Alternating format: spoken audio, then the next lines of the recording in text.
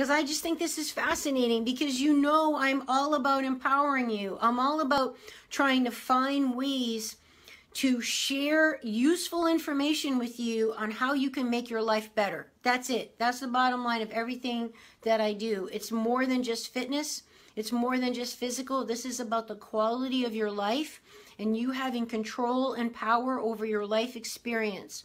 And I feel knowing stuff like this, like, wow, whoever thought like my neck is somehow related to the way my nose functions and my sinuses, and if I'm constantly texting or if I'm not sleeping right, or if I'm not watching my posture during the day, or if I'm wearing high heels all the time, it's going to set my pelvis off, which affects everything north of that. Every curve has to compromise the foundation, okay, of the pelvis.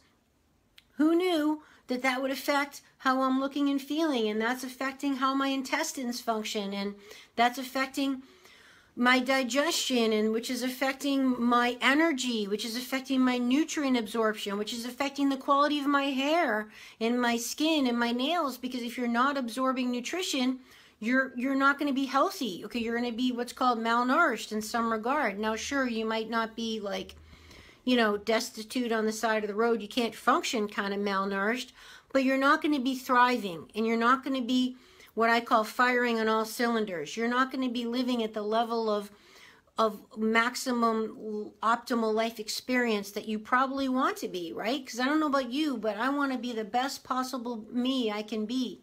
And that's why we tap into all these wonderful lifestyle habits and practices to empower ourselves to be and feel and look our best, right?